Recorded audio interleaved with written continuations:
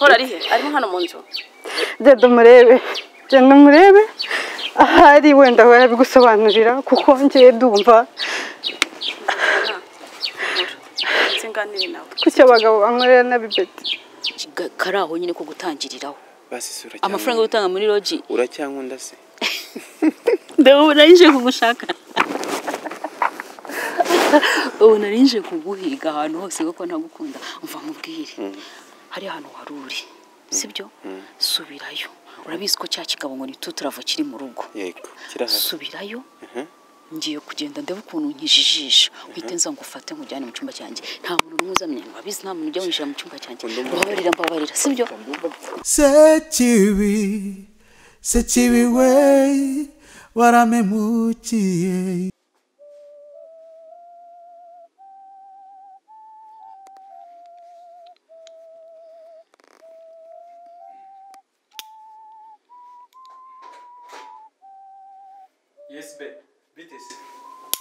sawa. Umeze neza? Ya. Nawe nguye ku mazi se sha nta mazi nshaka ahubwo wenda mboneye nk'agashara waba ugeze neza.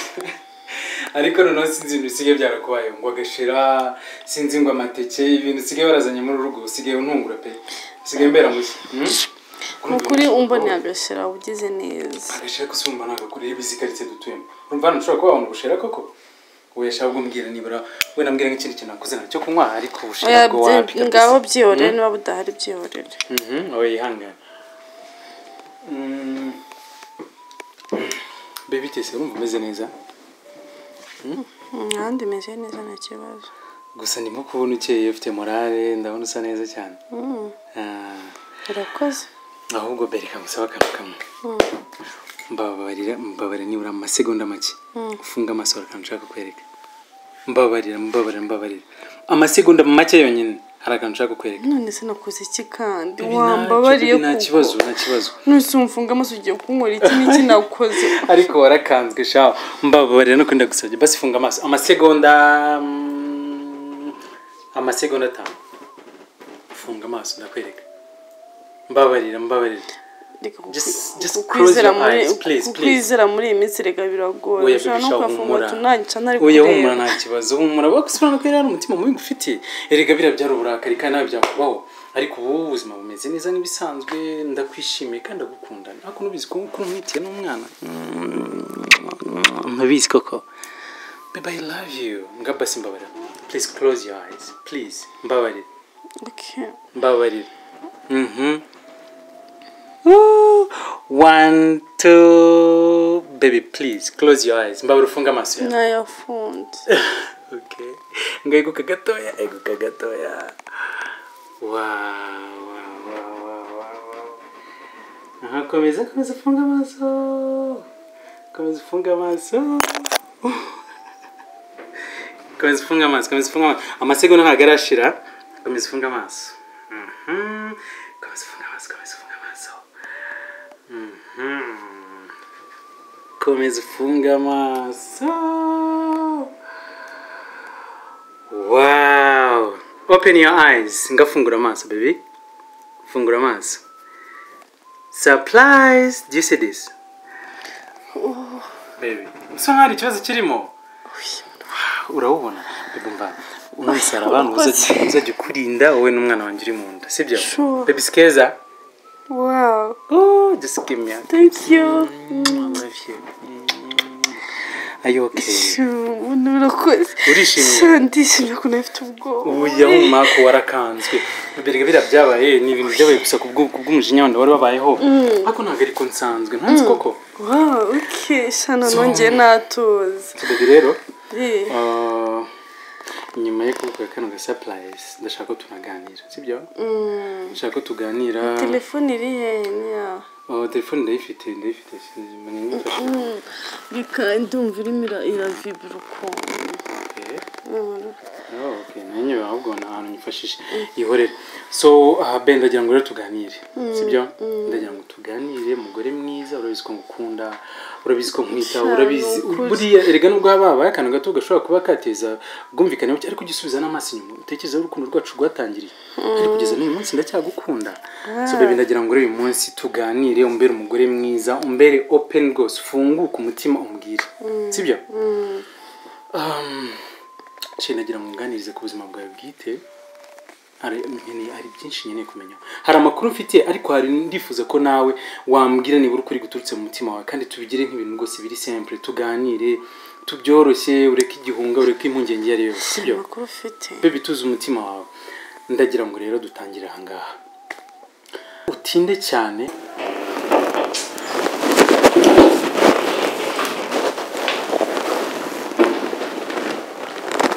gahunda ze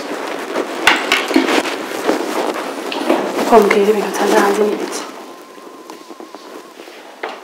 bimeze bite mbabare umbwire amakuru numva niyo cyangwa wumvisha yahe wumvisha yahe po iyi kampani ntabwo yari yawe.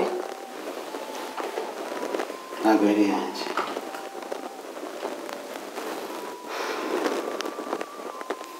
ntabwo yari yanjye hari ikindi ushaka kumenya? Mbese kuki utabivuze kare basi natwe nta buse mu rwara umuntu ubizi Betty, hari wigeze ubibwira n'umwe noneho ndebera ndebera kugira ngo byose bibe no ku munota wa nyuma uko bigiye kuba. Ubuse ari ubukwe ni ugutakaza ubukwe ubukwe wa- wakongera ukabisubiramo urumva? Ko kuki utabivuze? Ariko ureba ukuntu ubabaje ubabaje mama joan ubu se urabona biriya bintu babashe kubyihangana. Urabona ari bubyakire Betty ndabizi ni ibintu bigoye ndabizi kubyumva kuri we ni ikintu gikomeye cyane ariko kugeza ubu kantu kagira igisubizo bidafite gusa ndabizi ko nawe bitari buze kuza kumworohera sinzi ukuntu agiye kuma agiye kumera n'uko agiye kubaho. Ni ibintu bigoye cyane. Ko ntabwo ari bubyihangane sinzi ko ari buze kubyakira. Ndabizi iki ni ikintu gikomeye. Yari yateguye imiryango. Ariko ntabwo byiteguye ntabwo byiteguye kugeza ubu ibintu byanjye byose byose bya byafatiye ukuri kw'imana nabyita ko fatirwa kubera ko ntakaje aho nabashaga byose ese kuki utabivuze kare? Basi ngo natwe tube tunabizi. Buri muntu wese ubaho wese agira ibanga rye. Kuba ntarabikubwiye kandi ntibifate ikosa wenda tuzafata umwanya tuganire gusa icyo ngiye kugusaba ni ikintu kimwe anje sinzi ukuntu agiye kubaho ndagusabye ngo umfashe kumva hafi Mbabarira- muba hafi n'ibintu byanjye. Mbabarira ube hafi yanjye. Ariko sinzi ko ari bubashe kunyuma ataza kugira ngo umuryango wose bamutereranye kandi ntabwo bamutereranye nanjye. Gusa niko kano kanya nta mahitamo mfite neza ubu urabona amaherezo. Amaherezo ubukwe buzakomeza ariko bitaruba ni ukuzongera kubitekereza neza. Ariko kugeza ubu kano kanya ntabwo nshobora kubimwumvisha ngo abyumve arasebye nyine. Ariko nta kundi. Kubera bwitirise ariko njye ntabwo musebeje ku bijyanye n'isano ufitanye n'umugabo witwa itangishaka paul. Itangishaka paul ni muntu ki mu buzima bwawe? Mbwira rwose kandi utuze ndakumva kandi nta kibazo kirimo. Mbwira sheri mbwira nta kibazo. Ariko se wabibyoye n'icyo ahubwo reka ntabwo ndi umwana nanjye hari uburyo bwose nshobora kuba namenyamo amakuru ariko byanezeza kurushaho cyangwa se nabyizera kurushaho. Ndamutse mbibwiwe nawe nyir'ubwite gira icyo ubimbwiraho rwose tube mu buryo butarimo bu- bu- burimo ukuri kose butarimo guhora umuntu akeka akeka ngaho mbwira. Ke tanga ishaka paul. Oya nta kibazo baby mbwira rwose. Feel free mbwira pe nyine. Yari umugabo wanjye. Hanyuma se mwigeze mwarabanye mu buryo bwemewe n'amategeko se? Mm. ariko sheri kubera icyo amakuru nk'aya ngaya tugeze uyama koko ahubwo se uwo nguwo yitanga ishaka ndi numva si wa wundi ushobora kuba uri- birimo kuvuga ko ngo ashobora kuba ari fiyanse wa, mukuru wawe Ange. Bashaka ngo no kuzabana? Hanyuma none se byaje kugenda gute kugira ngo ah, utandukane na Itanga ishaka Paul hanyuma uze guhura nanjye nsobanura urwo rugendo. Byagenze bite kugira ngo uve kuri uriya mugabo? Tube twarahuye nka kuriya twahuye. Byanyuze mu zihe nzira. Kubera iki mutakomezanyije n'uriya mugabo. Ni ukuvuga ikibazo.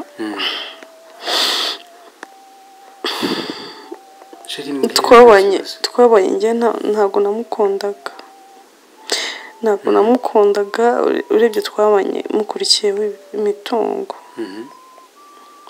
Kandi nyine nta inshingano ziwe nk'umugabo ntabwo yazubahirizaga neza no mu buriri ntabwo namubonaga nk'uko bikwiye. Eh, ari na yo mpamvu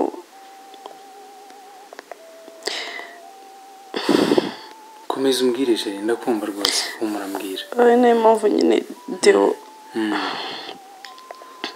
deo yaje namuzanye muri ubwo buryo tukabana mu rugo twahitanga ishaka kuko deo twari twarakundanye kera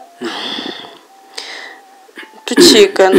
Nyuma aza kubivamo aba umumotari. Hanyuma se Deo wamuzanye gute muri uriya rugo? Wamuzanye kugira ngo nk'umukozi wamuzanye nk'umuntu uzajya wenda nsobanura uburyo Deo yaje nyine twarahuye yarabaye umumotari Eh. kuko nk'abantu twari twarigeze gukundanaho. N'umugabo wanjye ko sinamubonaga nk'uko bikwiye. Nahita- hanyuma Deo umuzana nk'umuntu usa wakubera umwunganizi mu gihe umugabo wenda atabasha kuguhaza wenda mu buriri. Ni muri ubwo buryo? Namuzanye tugumye tubane mu rugo tu. Hanyuma ndabyumvise wenda iyo nzira yo ndayumvise hanyuma se ni gute noneho Deo umuzana muri uru rugo wari ufite iyihe ntego? Ko wenda uwo ngaho wenda wamuzanye kwa Itanga Paul wenda ufite uburyo wenda mwamwigeze kugira n'akantu k'inkundo kera mukigana umuzana mu wenda nk'umuntu uzajya kunganira cyangwa se waguha umunezero wifuza muri uriya rugo. None se umuzana muri uru rugo ubwo wari ufite iyihe ntego sheri mbwiza ukuri. Ko waje uka- ukamumpisha amakuru yawe nawe ukagenda ukagenda uyabi- uyabindikiranya umbwira ko ari musaza wawe ubwo wamuzanye ufite iyihe ntego urumva kwa paul Mm. Niyo mpamvu rero urumva ni cyo twari twatandukanye ariko dutandukana mfite inda yiwe bituma njya kwa paul nyine nyifite wumva harimo isano ry'uko dufi- dufitanye n'umwana nawe. Rero nyuma ni bwo paul yaje kubimenya n'iki biba ibibazo bikomeye tura- tu- turanatandukana. Ni ukuvuga ngo nyuma two twaje guhura na paul tutakiri kumwe. Kiriya gihe nahuye nawe mwaramaze gukora divorce? Ego twari twaratandukanye. Hanyuma kiriya gihe rero dewo kumuzana aha ngaha we we nta bindi bindi rwose kuko uri ni ukuri ndagukunda. Kuko eh, tukimara guhura nakubonye Mana, nagize ni nk'aho ari bwo bwa mbere nongeye gukunda. Pe ndagukunda umve ngo dewo byarangiranye na hariya nyiri kwa paul. Kumuzana aha ngaha rero namuzanye wumva yari yarasaze yara- nyine nanga ko agumya kwirirwa azerera ndabaza ubwo mbonye ahantu ndi reka muzane mufashe akire.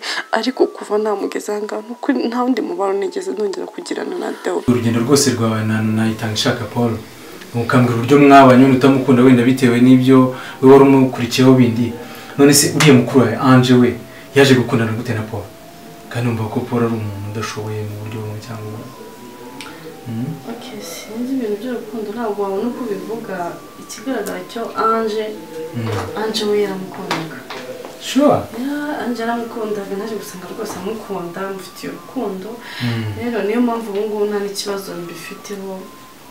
Ubu nta kibazo kindi nta kurukuri yawe. Rwose, n'uriya mugabo byararangiye byararangiye nta kibazo na kimwe mbifiteho kuba babana kuba byagenda gute nta kibazo na kimwe mbifiteho Ah, naho ubundi rwose. Reka reka ngushimire reka ngushimire kuko wenda turaganiriye ibyo nifuzaga ko mbwira ndabyumvise uretse ko nta nubwo nyuzwe. Niyo mpamvu ngira ngo nkubwire ibintu bibiri. Ikintu cya mbere wenda ibya paul byo nabyumvise byaranahise wenda agiye gufata n'undi mwanzuro mu buzima we na mukuru wawe ariko ikintu nongeye kugusubiriramo kindi gikomeye. Ndashaka ko ucika ku muntu witwa deo sinshaka kuzongera kumva deo mu maso yanjye sinshaka kuzongera kumva deo hano mu rugo rwanjye. Ikindi kintu mfite impungenge zikomeye. Ese urambwira ko deo mu- mumaranye igihe muri runo rugo rwanjye ntabizi? Yitwara ngo ni musaza wawe mubimisha mukomeza ku- kumbindikiranya munyereka ko ari musaza wawe. Kandi deo mwana banye mu rugo rw'uriya mugabo witwa itanga ishaka paul mukabana umugabo akarinda ubwo munadivorce umugabo atazi deo uwo ari we n'imyitwarire n'ikimugenza n'icyo amaze mu buzima bwawe. Warangiza wanamuzana hano ukamuzana mu rugo rwanjye nabwo kandi mugakomeza mukabana mu ibanga ryanyu. Urambwiza ukuri ko iyi nda utwite ari yanjye cyangwa harimo itekinika mwakoze na deo nano ko mwahoranaga hano no ahubwo nakubwiye icyabiteye nta deo kugira umuzana ahangaha ko ari kumufasha yari yararwaye. Nta yindi mishyikirano mfitanye na deo ukuri? ngubu umuntu mfite nakubwiye ko ngukunda. Umuntu mfite nkunda ni wowe ntiwajya ni bwo bwa mbere nanakunze iyi nda ni iyawe deo nta yindi mishyikirano mfitanye nawe. Nashaka nagende rwose ava ahangaha nta niba yishaka florence reka ngiye nkwisabira ikintu kimwe. Nujya ubona hano ndimo kukubwira ngo ndashaka kuba hano. Ndashaka kuba hano nibura nawe. Unyereke igihamya cy'uko nyuma y'amezi icyenda iyi ndi izavuka nkakoresha ADN nkazasanga uyu mwana ari uwanjye ni bwo ni cyo kintu cyonyine kizatuma nkugira icyizere. Nkakomeza kubana nawe. Icyo kintu ni cyo nkwisabira naho ubundi ibindi byo njyewe ubwanjye birandenze ndabyemeye ngamva ngusaba ikintu kimwe urumva ko turaganiriye nkubwiye nkubwije ukuri ukuntu ibintu bimeze. Ariko nawe ndagira ngo usabe rwose umbabarire umpe uburenganzira nidegembye umbohore kuko kugumamo hano. Reka mbitekerezeho reka mbitekereze kuko umbwiye amakuru y'u- y'uburyo deo mwabanaga hariya kwa paul n'icyo yari amaze mu buzima bwawe n'akazi yagukoreraga. Warangiza mukongera mukabana hano? Ntari nkahora ngenda ntabwo ntabwo mpamya ko akazi yagukoreraga hariya ibyo yagukoreraga ari umwunganizi wawe mu buriri. Ntabwo mpamya ko nanga Ushaka atabikoze. kubyumva nabi. sawa ibyo wambwira nabyumvise. Ubu Ujya ngaho. ure- icara icara mbabara wicare nkubaze nta kindi kintu nagombaga gukora nari kubigeza gute se? Uba warabivuze. Warabivuze byibuze umuntu akicara abizi. Basitse mu rugo hari wigeze ubibabwira.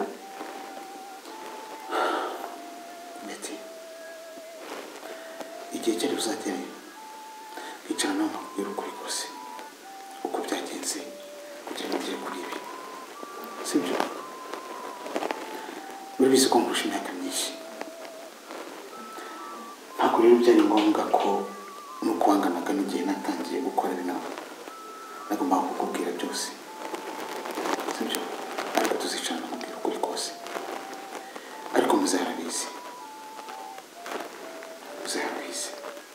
Arabizi ariko wakoze amakosa. Ni ukuri byibuze uza kubibwira amakosa kubera ko mbwira warabimubwiye ni ukuri. Sinzi ko ari bubashe kubyakira. Nanjye ndaje mbimubwire ariko ntabwo ari bubyumve. Ni ukuri ko imana muceho hari hanze ariko uburyo amezemo. Ndakubwiye ngo nanjye birambabaje. Nta kintu nagombaga gukora ntabwo nagombaga kubigenza kandi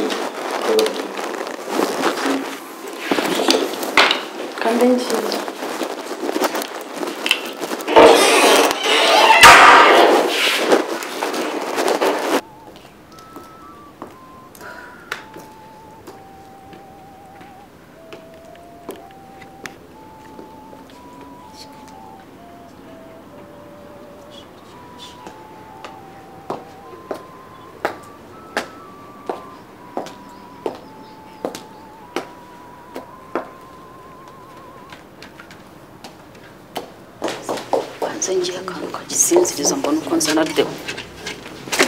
Niba atari ibyo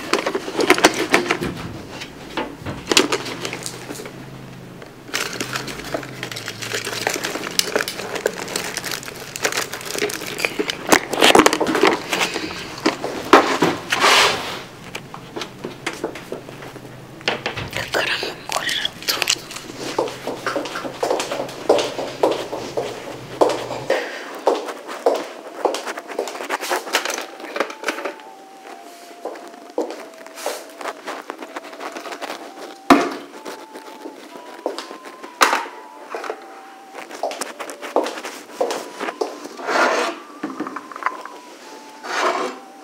kamuri tubiri kugira ngo atarabukwa agira ngo ni impuhwe mugiriye araba areba aza kunsobanukirwa.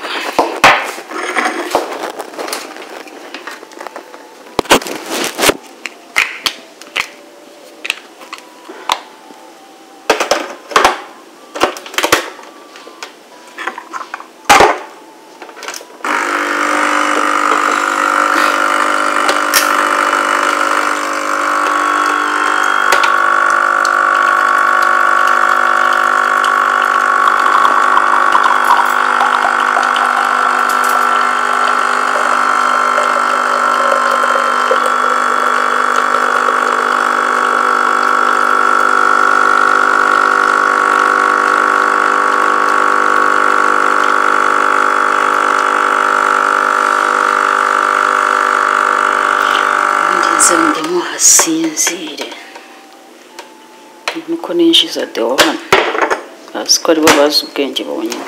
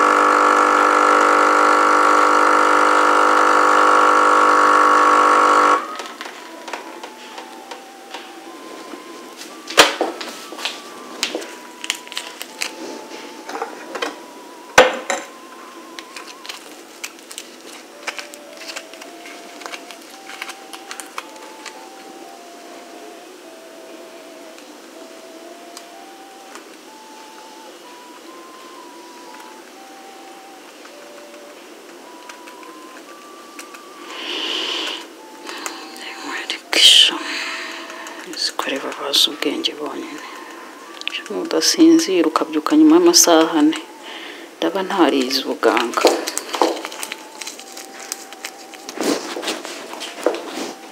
Ushyiremo n'isukari rwose uryoherwe. Uzi ko muzi ubwenge.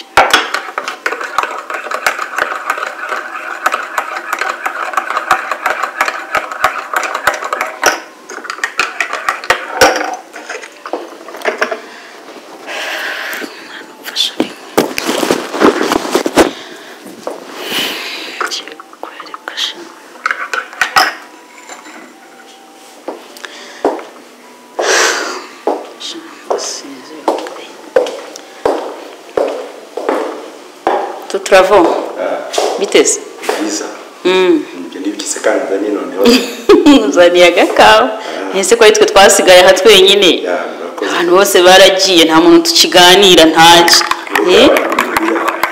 musaza wawe niko amabwiriza yampaye ngo tuba tugomba kwibanda neza nta kibazo harimo. Njyewe ubundi nta kibazo kindi ngufiteho ikibazo ni kimwe nuko mbuza kwirebera florence. Ntabwo ni amabwiriza gusa ariko ubundi mba ngomba kubitunganya ntukagira ikibazo. Sawa.